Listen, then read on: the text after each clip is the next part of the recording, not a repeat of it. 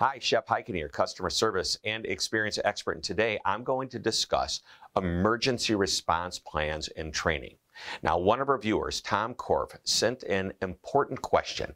How should customer support agent handle callers who are threatening to harm themselves and maybe others? Well, this is a very serious topic, and I'll share my thoughts, but it's important to note that the brevity of my answer does not diminish the importance of the question. If someone threatens to do harm to themselves or others, it cannot be taken lightly. If you find yourself in this situation, and it is like an emergency situation, the first step is to inform the customer that such statements are taken very seriously and you'll be informing the proper authorities. It's important to make this statement with as much concern and empathy as possible. Of course, the follow through is just as, if not even more important. You can't make that statement without following through on your actions. Once any imminent danger has been dealt with, take time to reflect. Determine how a situation like this should be handled and then create a process for crisis management.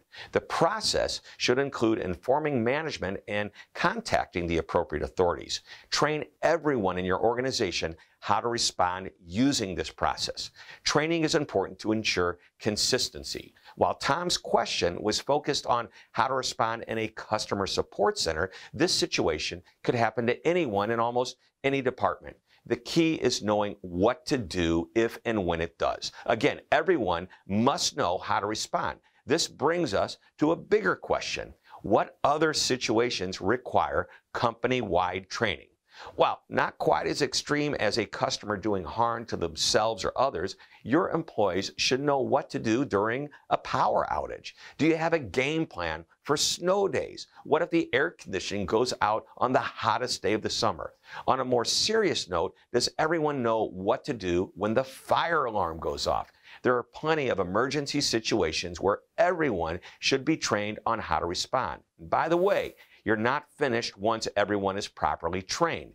Repeat training is the only way to ensure everyone is ready to react. Fire drills and other role plays should be done regularly to reinforce how to handle extreme issues. For some cases, you may consider repeating these training exercises and drills every six months or even more. So make your list. Write out what needs to happen. Get the process on paper and train, and then train again. You never know when you might face one of these situations. When that does happen, you'll be prepared. Well, I hope you enjoyed this short lesson. Thank you very much for tuning in. This is Shep Hyken reminding you to always be amazing.